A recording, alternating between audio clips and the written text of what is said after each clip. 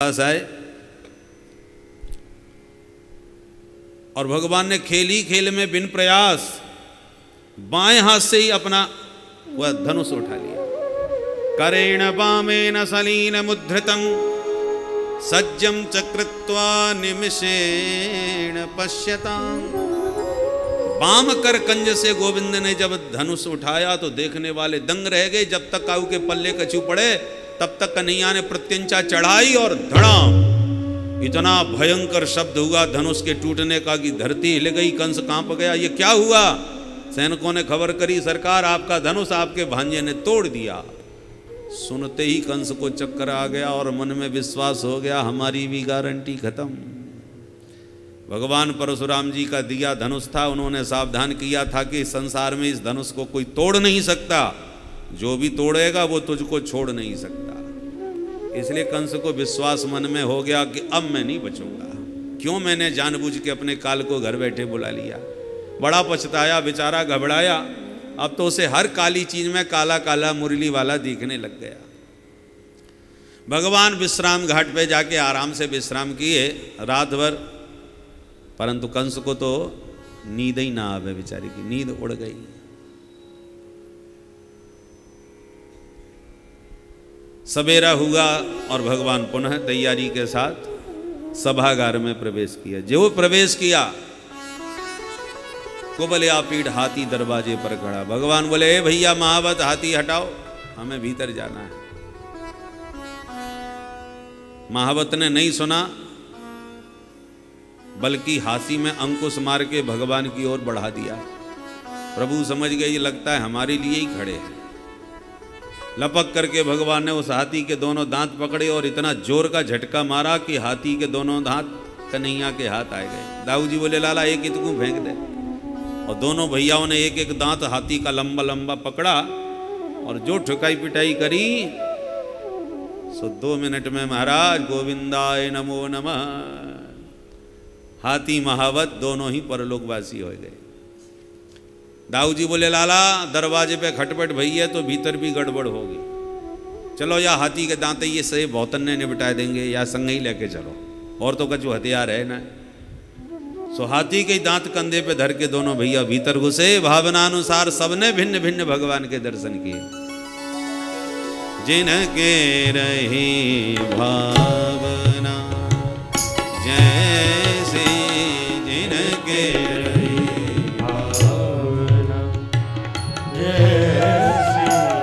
प्रभु मूरति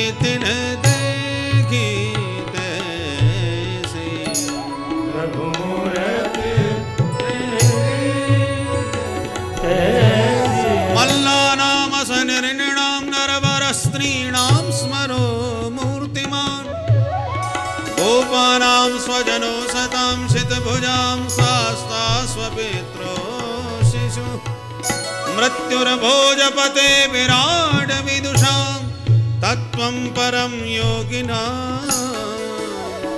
वृष्णीनां परदेवतेति विदितो रङ्गं गत साग्रज।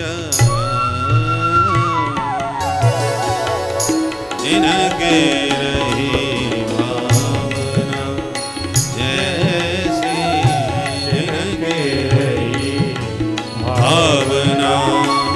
रही भावना,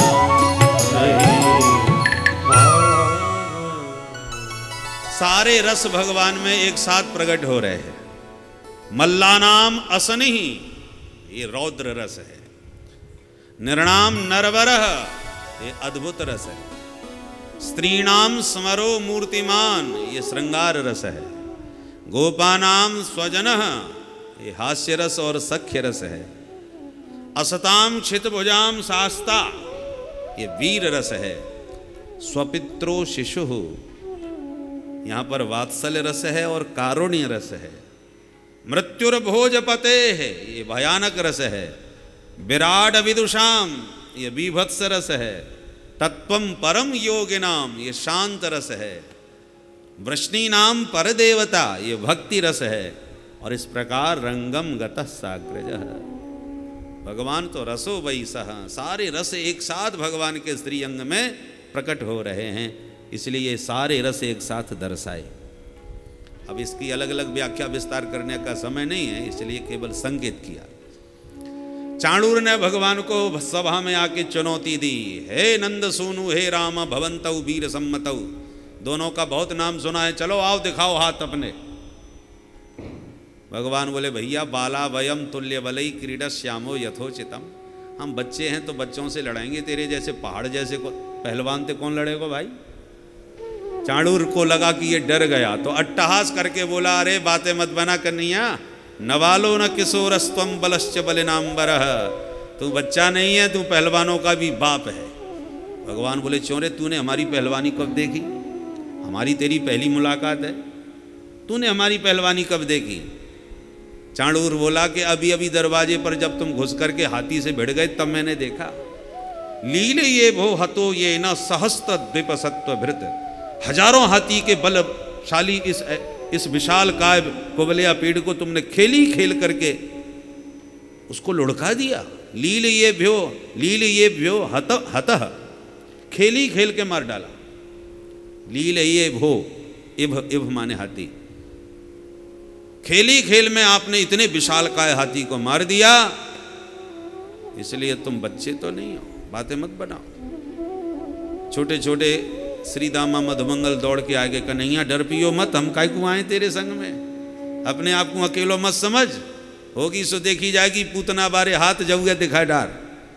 भगवान बोली, ये बात है तो फिर आ जा मैदान में। बद्वा परिक्रम शौरी, बाँध दिया कमर में पीताम्बर कूद पड़े अखाड़े में। जो महाराज चालू हो गई कुश्ती, हस्ताभ्याम हस्तयोर बद्धवा पदव्या में वचपादयो अरतनी द्वय अरतनी भ्याम जानुभ्याम चैव जानुनी।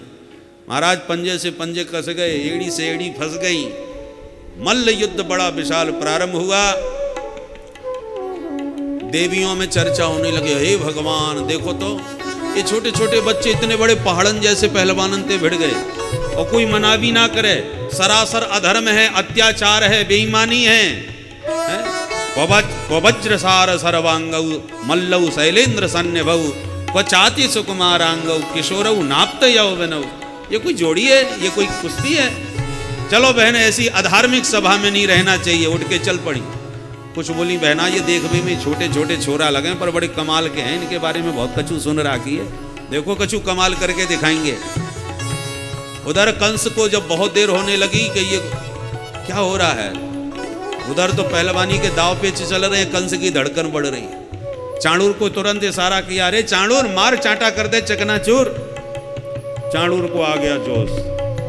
मालिक का इशारा पा करके, घुमा करके एक मुक्का कन्हैया की छाती में मार दिया। भगवान हंसने लगे। भगवान को तो मुक्का ऐसे लगा जैसे मत वाले हाथी में काऊ ने माला फेंक के मार दी हो अब हाथी में माला मारो तो का खबर लगे? ली, भगवान को कैसे लगा? माला हत इवत विप। न चलत तत्प्रहारेण माला हत इवत विप। भगवान उसके प्रहार से बिल्कुल विचलित नहीं हुए जैसे हाथी में माला मारी हो और हंस करके बोले चौरे तेने मुक्का मार दियो मुको हम को मुक्का मारो है तो एक छोटी सी चपत मेरी ऊँचा खेले घुमा करके चांटा मारा। और एक चांटे में चारों कोने चित गिरा चाणूर चकना चूर होके चटनी चाट गया। बोल चाणूर मर्दन भगवान की। धरती चटा दी महाराज। धरती पकड़ होकर दिया। उधर दाऊ ने देर न लगाई, घुमा के एक मुष्टिका जमाई तो मुष्टिकासुर को भी एक मुष्टिका में ही परलोक पहुँचा दिया। सल तो सलाए उन्हें भी परलोक पहुँचाए। कूट नाम का दैत्य आया तो दो मुक्के में उसे भी कूट डाला। बाकी के पहलवान अपने आप ही पतली गली से भागने लगे। शेषा प्रदुद्र वो मल्ला सर्वे प्राण परीप सब सारे पहलवानों को प्राण बचाने की पड़ गई। भगदड़ मच गई कंस के पहलवानों में। अब कोई ना बचेगा भैया इन इन शोरन थे फिर क्या था महाराज, कंस तो पागल हो गया ये हाल देख करके।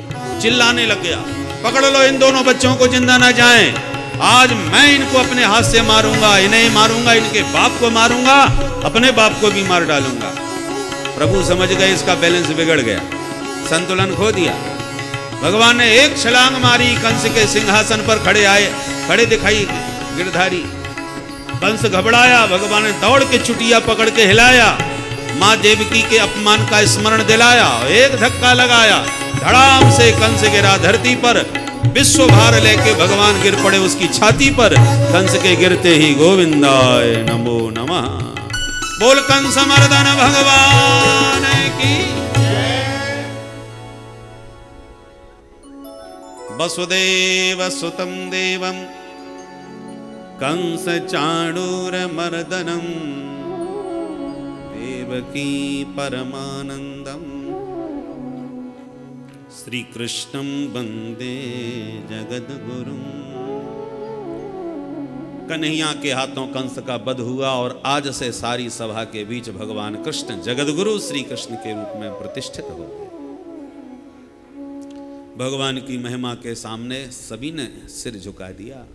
भगवान बंधक बने हो गए नाना उग्रसेन तथा अपने माता पिता देवकी वसुदेव, तीनों को बंधन मुक्त कर दिए। और तत्काल भगवान ने मथुरा का राजा महाराज उग्रसेन को घोषित कर दिया। नंद बाबा से एकांत एक में मिल के बोले, बाबा, अब आप वृंदावन पधारो। कछु जिम्मेवारी हमारे कंधे पर आ गई है। उनसे निवृत्त होकर मैं पुनः वृंदावन आऊँगा। आप प्रतीक्षा करिए। समझा बुझा के ब्रजवासियों के साथ बाबा विदा किए और पूरयन अश्रुभिर नेत्रे सह गोपैर ब्रजम ययऊ ब्रजवासियों के साथ अश्रुपुरुत नयनों से नंद बाबा विदा हो लिए। गर्गाचार्य जी यदुवंश के पुरोहित हैं, उन्होंने आके तत्काल शुभ मुहूर्त निकलवाया और कृष्ण बलराम दोनों भैयाओं का यज्ञोपवीत करवाया। गायत्र व्रतम आस्थित गायत्री मंत्र की दीक्षा उपनयन किया। और देव की वसुदेव को गर्गाचार्य जी ने समझाया, पुरोहित का मतलब है जो आगे आगे यजमान के हित का चिंतन करता हुआ चले वो पुरोहित। बच्चों की चिंता माँ बाप को उतनी नहीं होती थी, उस काल में जितना कि कुल पुरोहित को होती थी। इतना ध्यान रखते थे अपने यजमान का, इसलिए उनका बड़ा सम्मान था। गर्गाचार्य जी ने कहा, देखो, मैं जानता हूँ वसुदेव, तुम्हें तुम्हारे बच्चे बहुत वर्षों के बाद इतना कष्ट सहने के बाद मिले हैं। तुम्हारे सुख के दिन अब आ गए हैं। कष्ट के दिन बीत गए हैं। तो हर बच, हर माता पिता वर्षों बाद इतने कष्ट पाके अपने बच्चों को गले लगावे तो फिर उनको छोड़ना नहीं चाहता। किंतु तुम्हें छोड़ना पड़ेगा। किसके लिए? बोले, अभी ये लोग माखन मिश्री खा के गैयाँ चराएँ पढ़े लिखे कुछ नहीं है। इनकी पढ़ाई लिखाई पर ध्यान दो, बच्चे हैं। पढ़ाई की एक उम्र होती है, जिस उम्र के निकल जाने के बाद केवल हाथ ही मीटते रह जाओ, फिर ज़िंदगी में कुछ दोबारा नहीं मिलेगा। प्रथमे नार्जितम विद्या, द्वितीय नार्जितम धनम, तृतीय नार्जितम पुण्यम, चतुर्थे किंग करिष्यति। पहला चरण जो जीवन का है, वो विद्या अध्ययन का होता है 25 वर्ष तक। यदि जीवन के चार चरण कर दिए जाएँ 25-25 के 100 साल का जीवन मान लें तो प्रारंभ के 25 वर्ष विद्या अध्ययन के हैं। 25 वर्ष की उम्र तक जो पा लिया सो पा लिया उसके बाद तो फिर सोचते ही रहो। फिर कुछ नहीं पढ़ लिख पाओगे। समय खत्म। इसलिए अभी तो ये 11 साल के बच्चे हैं, इनकी पढ़ाई पर ध्यान दो। अभी ये पढ़े लिखे नहीं है।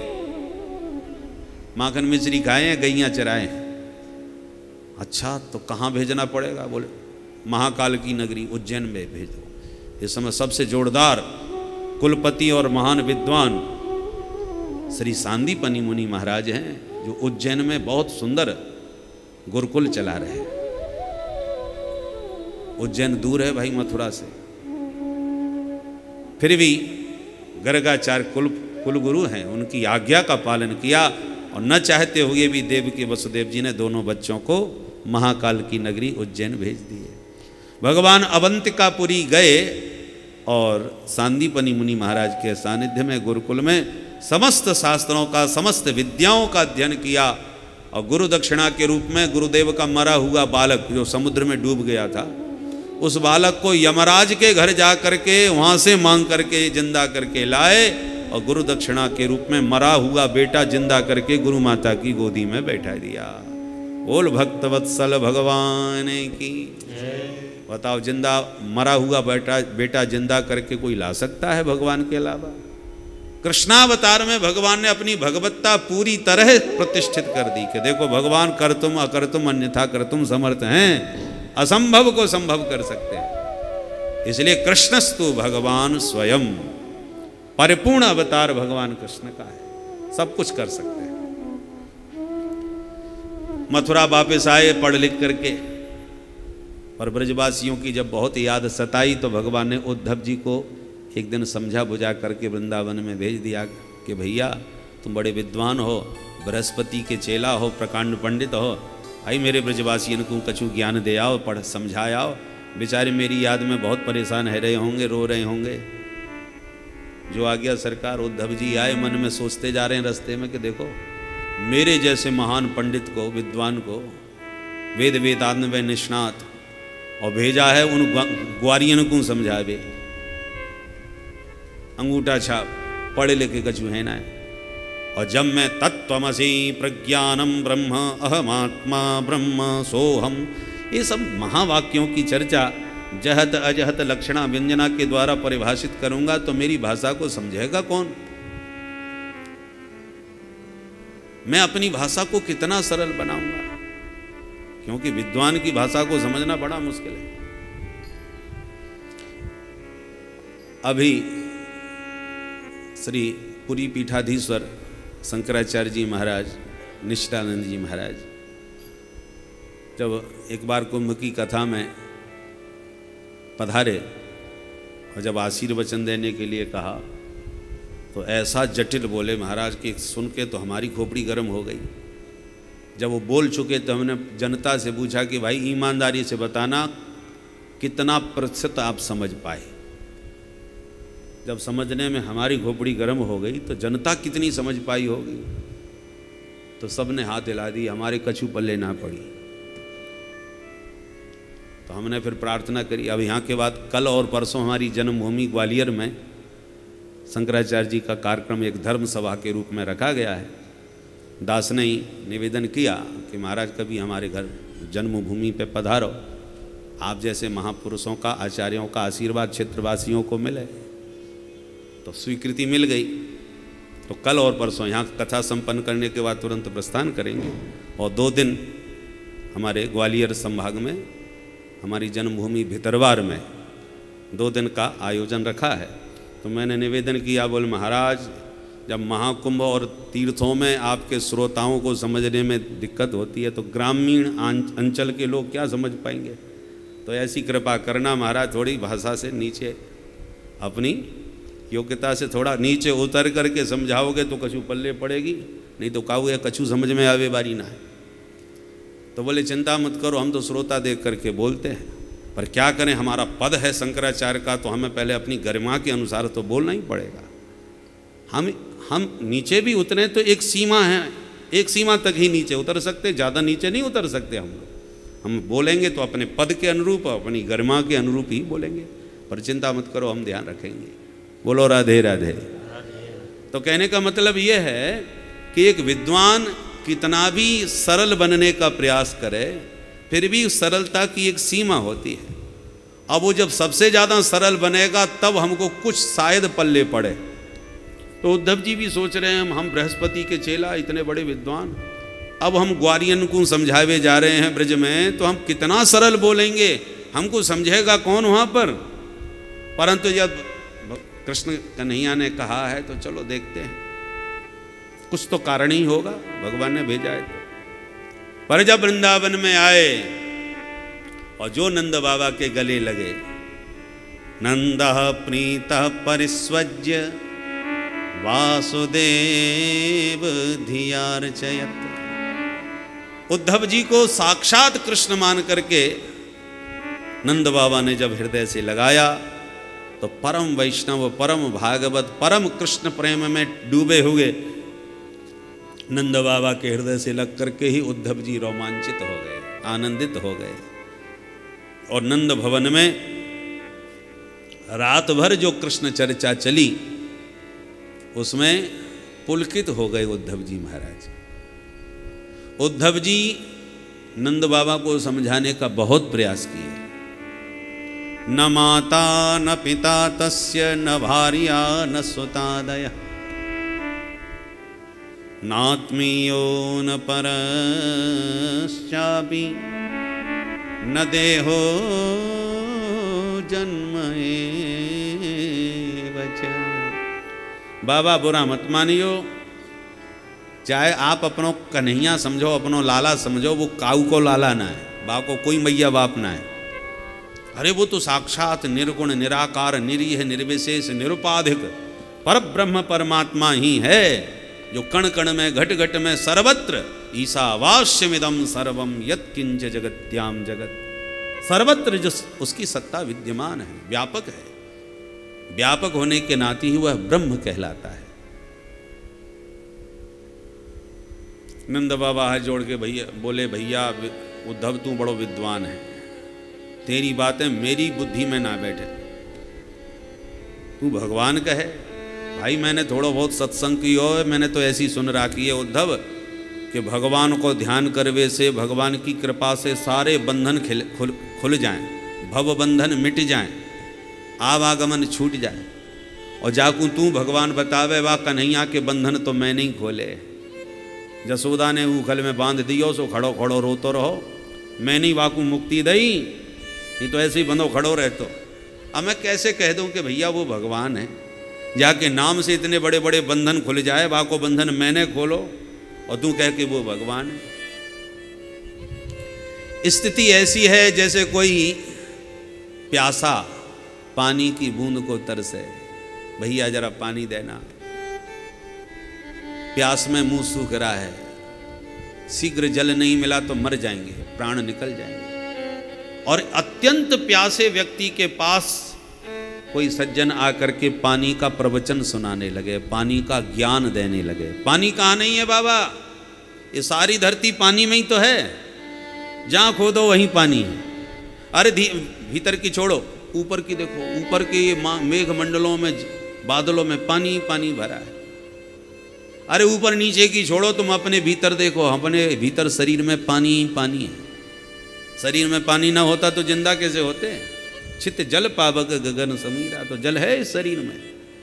तो भीतर भी अपने पेट में भी पानी, शरीर में पानी, नीचे पानी, ऊपर पानी, सारी धरती पानी। पानी में ही तो स्थित है। पृथ्वी में पृथ्वी तत्व से ज़्यादा जल तत्व है। तो प्रवचन गलत तो नहीं बात बिल्कुल सही है। पर इस पानी का प्रवचन सुनकर, पानी का ज्ञान हो जाने से क्या प्यासा प्रसन्न हो जाएगा? कभी नहीं हो सकता। वो हाथ जोड़ के एक ही बात कहेगा, भैया, ये पानी का प्रवचन मत दो, मुझे पानी दो। क्योंकि पानी पी के ही प्यास बुझेगी, पानी का ज्ञान होने से नहीं। उसी प्रकार नंद बाबा कहते हैं, मेरा कन्हैया मुझे दो। और उद्धव जी कन्हैया का ज्ञान दे रहे ब्रजवासी कह रहे हैं कि अखियाँ हरि दर्शन की प्यासी। आँखों में तो दर्शन की प्यास है। और आँखों के दर्शन की, प्यास कन्हैया के दर्शन से बुझेगी, कन्हैया का ज्ञान हो जाने से नहीं। और उद्धव जी ज्ञान दे रहे हैं। ज्ञान अपने स्थान पर सही है, गलत नहीं। उद्धव जी के ज्ञान की उपेक्षा नहीं की जा सकती। परिस्थिति केवल ज्ञान हो जाने से गाड़ी नहीं चलेगी। आपकी गाड़ी पंचर हो गई, हवा निकल गई, किसी ने निकाल दी। अब आपने कहा कि अरे गाड़ी की हवा निकल गई, क्या करें? किसी से पूछा, भैया जी, हवा कहाँ मिलेगी? हवा कहाँ मिलेगी? अब वो क्या बड़े ना समझो, तुम्हें यही पता नहीं हवा कहाँ मिलेगी। अरे, ऐसी कौन सी जगह है जहाँ हवा ना हो? हवा के बिना कोई ज़िंदा रह सकता है क्या?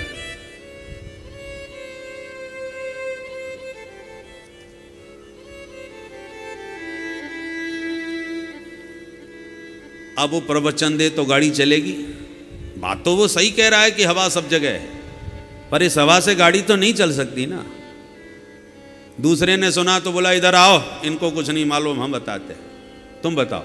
बोले, इधर उधर हवा मत देखो, हवा तुम्हारी भीतर है। तो उसकी भी बात सही है। बाहर छोड़ो, तुम अपने भीतर देखो, अपने भीतर भी हवा है। वायु तत्व भी तो शरीर में है। तो बात बिल्कुल सही है। हवा भीतर भी है, बाहर भी है, सर्वत्र हवा समाई हुई है। पर इस हवा से गाड़ी तो नहीं चलने वाली ना। हमें हवा तो वो चाहिए जो यंत्र मार्ग के माध्यम से, पाइपलाइन से होकर के हमारी गाड़ी के पहिया में घुसे। और जब गाड़ी के पहिया में हवा घुसेगी, तब गैया, गाड़ी आगे चलेगी। इस हवा से गाड़ी चलने वाली नहीं है। इसलिए ब्रजवासियों का जो आनंद है, वो सगुण साकार श्री राधा वल्लभ कृष्ण के रूप में है। अब उनकी गाड़ी ब्रजवासियों की प्रेम की गाड़ी तो राधा वल्लभ लाल के दर्शन से ही चलेगी। वो निर्गुण, निराकार, व्यापक ब्रह्म तत्व से उनकी गाड़ी चलने वाली नहीं है। निर्गुण कौन देश को वासी? वो निर्गुण ब्रह्म से ब्रजवासियों को कोई लेना देना नहीं। छह महीने तक ब्रज में वास किए उद्धव जी महाराज। उबास कत चिन्मासा। और वो जब ब्रज गोपियों के प्रेम का दर्शन किया, कि एक भौरा किशोरी जी के श्री चरणों पर बैठ गया तो किशोरी जी सहित सारी गोपियाँ भौरे से ही बातें करने लगी। भ्रमर गीत।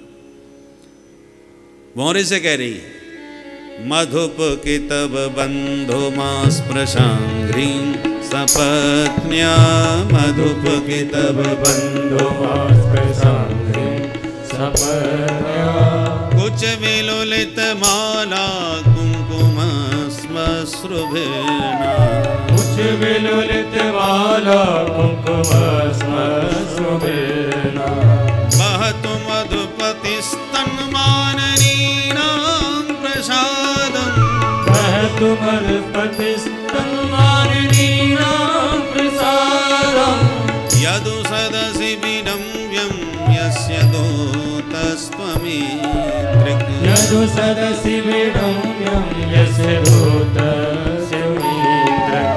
मधुपके तव बन्धो तव बन्धो तव बन्धो। काचित मधुकरम दृष्टवा, एक मधुकर को ही देख करके गोपियाँ, कन्हैया का उसे दूत मान करके बहुत सुंदर यह गीत गाई हैं।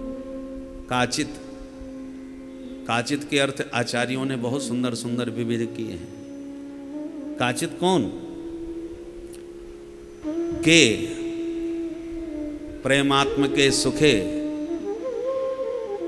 के? प्रेमात्म के सुखे।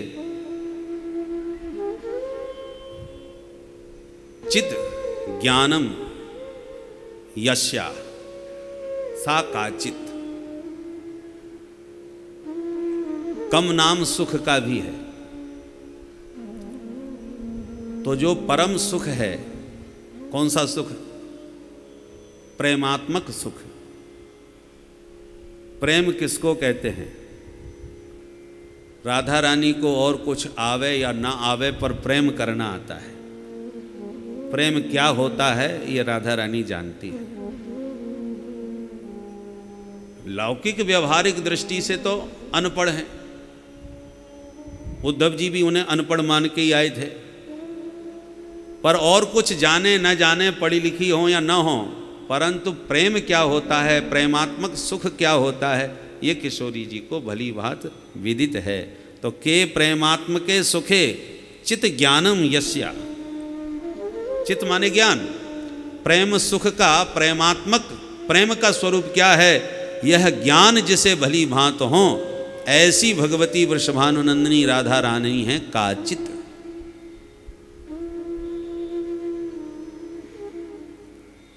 या कम कृष्णम, आसमंता चिड़ोती हृदयंगम करोती इति काचित। कम नाम कृष्ण का है। और भगवान कृष्ण को ही जिन्हें अपने, जिन्होंने अपना जीवन धन सर्वस्व चुन लिया हो और चुन करके अपने हृदय में सदा सर्वदा के लिए विराजमान कर लिया हो, वो भगवती वृषभानुनंदनी है काचित। कम कृष्णम आसमंतात चुनौती हृदयंगम करोति इति काचित वृषभानुनंदनी श्री राधा। ऐसे काचित शब्द के बहुत सुंदर सुंदर आचार्यों ने श्री राधा परक अर्थ किए क्योंकि वृषभानुनंदनी राधा रानी का नाम खुल करके तो सुखदेव जी लेते ही नहीं तो किसी न किसी माध्यम से शब्दों में छुपा करके राधा रानी का स्मरण करते हैं। तो काचित मधुपुरम दृष्टवा। तो इस प्रकार से बहुत सुंदर सुंदर भावों से ब्रजमामाओं ने यह भ्रमर गीत गाया है और इस गीत को सुन सुन करके उद्धव जी, प्रेम क्या होता है ये जान गए। ऊधो सुधो भय चलो। सुन गोपिन के बो ज्ञान बजाई डुग डुगी और प्रेम बजायो ज्ञान की डुगडुगी बजा